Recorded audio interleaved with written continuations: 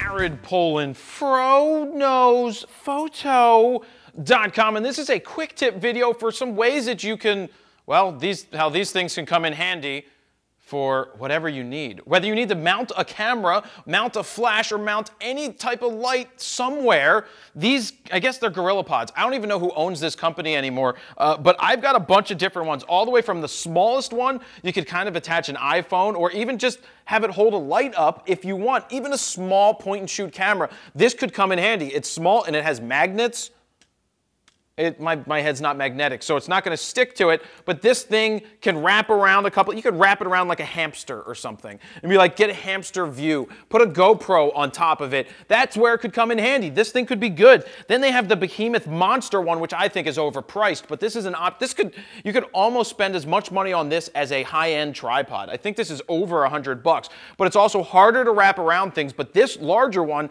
is meant to wrap around trees. Say you're doing a photo shoot out and there's trees and you want to put a flash off the camera somewhere, well, this is a way that you could do that. You attach it to the limb, you move the ball head, and you then go ahead, move the ball, move the ball head. You move the, you not turn the thing, you, oh, I locked it. You unlock it and you move it. I can also remember that I uh, took this thing to Aruba with me and swam in the ocean. I attached a GoPro to it and it still works. That was last year and the salt water didn't kill it, so that's a good thing to know. Then there's even the miniature, well, the smaller size one. What do you use this for, Stephen?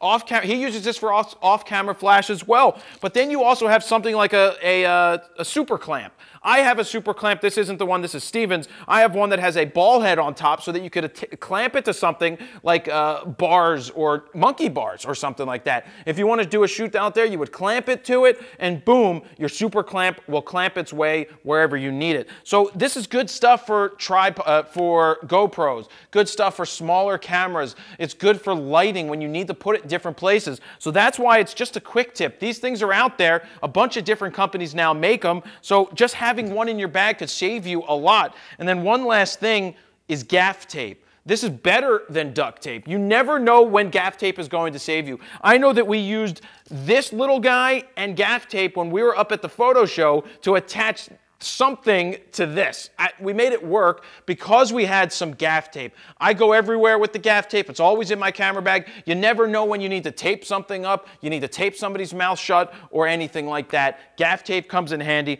and that's a quick tip for a couple of things that you can do with your flashes, cameras, and everything along those lines. That's it. Jared Polin, Fro Knows See ya. Hey there, Fro Nation. Have you signed up for the Fro Knows Photo email list yet? Well, please do so over at froknowsphoto.com. Look for the orange box, and when you sign up and hit send it, you will receive a free ebook, a guide to capturing motion in low light situations.